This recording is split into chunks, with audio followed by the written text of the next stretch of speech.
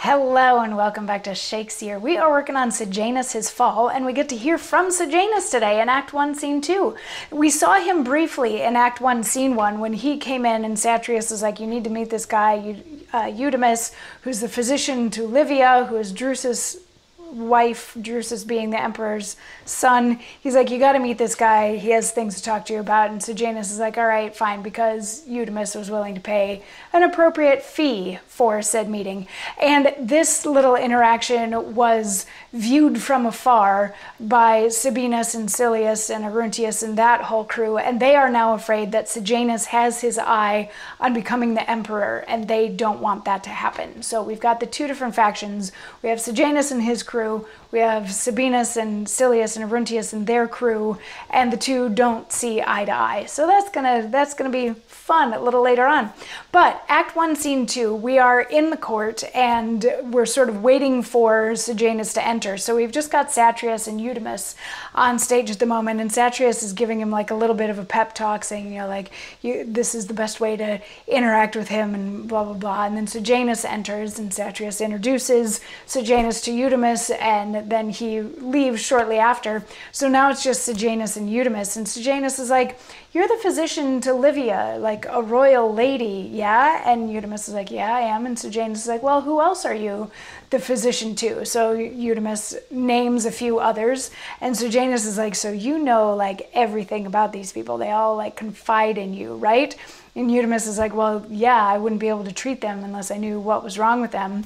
And Sejanus is like, so who's the most pleasant? And Eudemus is like, eh, mm, mm, doctor patient confidentiality, I, I really shouldn't say. So Sejanus says, why, sir, I do not ask you of their urines, whose smells most violet, or whose siege is best, or who makes hardest faces on her stool which lady sleeps with her own face o' nights?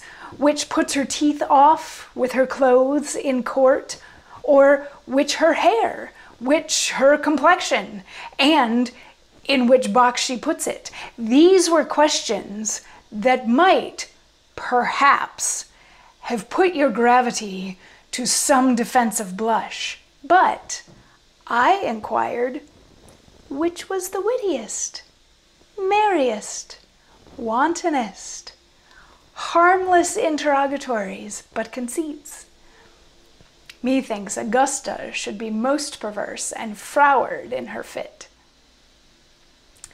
So what's Sejanus is saying like, whoa, whoa, whoa, I'm not asking for any confidential information. I don't care about their bowel movements or any other like personal medical information. I'm just asking like, who's the smartest? Who's the funniest? Who's the wittiest? Who's the like most fun to work with? He's like, I'm just asking simple, harmless questions about these women and then to like start the ball rolling he's like augusta's probably like a little bit perverse right and Eud- uh, eudemus agrees. He's like, yeah, yeah, they, that's that's the right call. And Sejanus is like, Mutilia is probably the most jocund, right? And he's like, yeah, yeah. So Sejanus is like, see, these are just like harmless little questions. Why wouldn't you want to tell me these things? Why do you have to like keep all this stuff a secret? Um, and Eudemus is like, well, you know, I didn't want to, I don't want to offend you, and like specifically, I don't want to offend you, but like I really shouldn't say too much about people. And Sejanus starts asking about Livia, like, what can you tell me about Livia? What can you tell me about Livia? And Eudemus is like really hesitant to say anything. But so Sejanus is like, oh, no, no, no, it's fine, it's fine. You can trust me.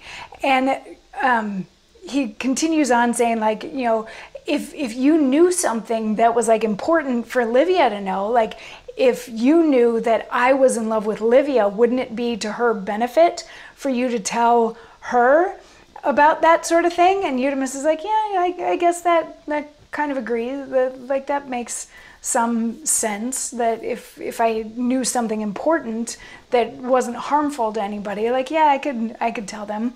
So Sejanus is like, great, go woo Livia for me. And Eudemus is like, yeah, okay, okay, fine, I can set up a meeting between the two of you in my gardens tomorrow. And Sejanus is going to have a monologue response to that that we will hear tomorrow. So I'll see you then. Mwah.